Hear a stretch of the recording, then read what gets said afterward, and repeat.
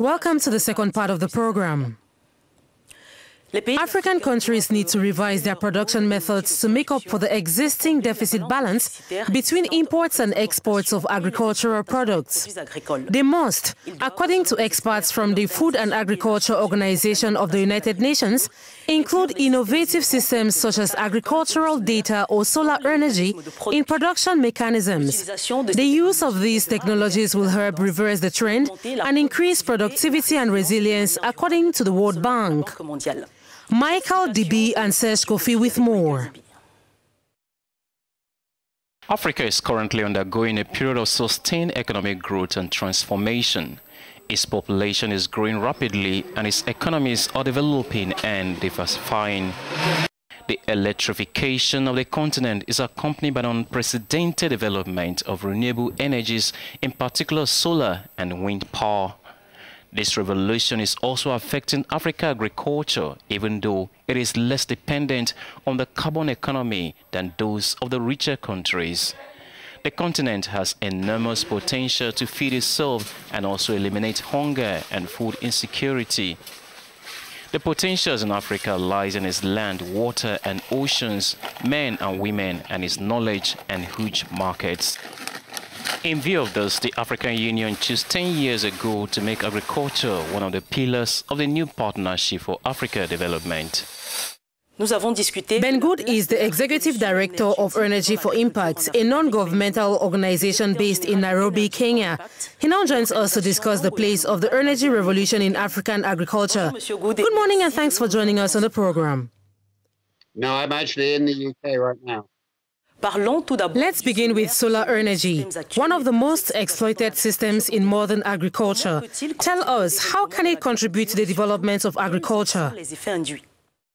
Well, first thing to remember is, is the great importance of this question. A Africa agriculture uh, has not grown in its productivity uh, at anything like uh, the rate of other continents.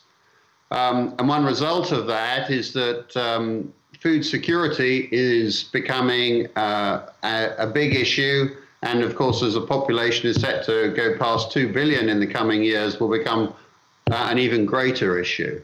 So uh, we have uh, around 600 million um, people in rural Africa at the moment without, uh, without power as that is being uh, addressed, then that creates significant opportunities for improving uh, the productivity and profitability of, uh, of farming uh, in Africa.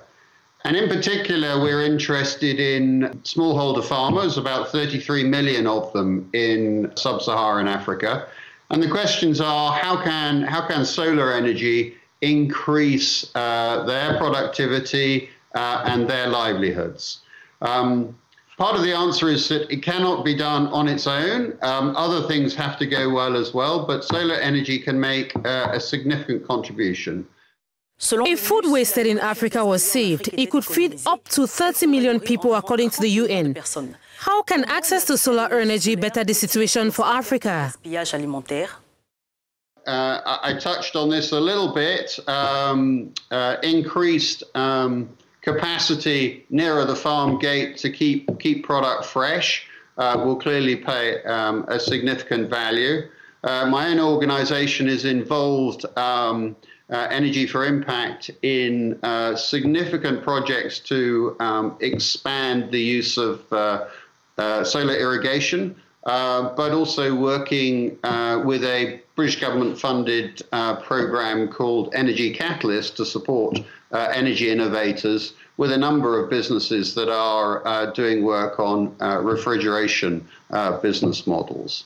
Uh, we work, for example, um, with company like uh, Enviru, with Inspira Farms. These are these are organisations that have got um, uh, a, business model that is about um, providing the equipment um, in the communities and then renting out space for uh, refrigeration. Much agricultural land remains underutilized in Africa. Is data a decisive factor in transforming the continent's agriculture?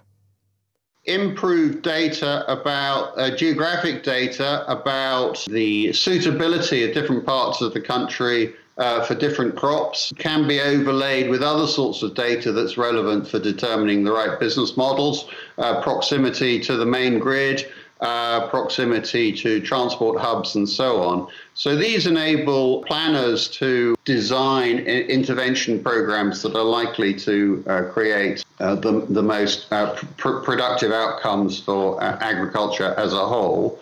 So there's geographic information um, for planning purposes.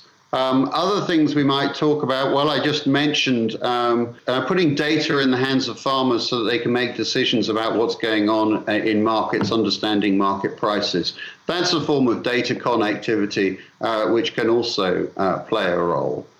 Um, a third area I would highlight um, relates back to uh, my first comment about um, it's not just about the equipment, it's about things, other things that need to be put in place for farmers' uh, livelihoods to be improved. Um, and so, for example, if you're going to see a significant increase in uh, smallholders using solar powered irrigation, Merci. Thank you for your thoughts on the contribution of solar energy to the improvements of agricultural production in Africa. It's a pleasure. That's it for this edition of Business Africa. Thanks for watching.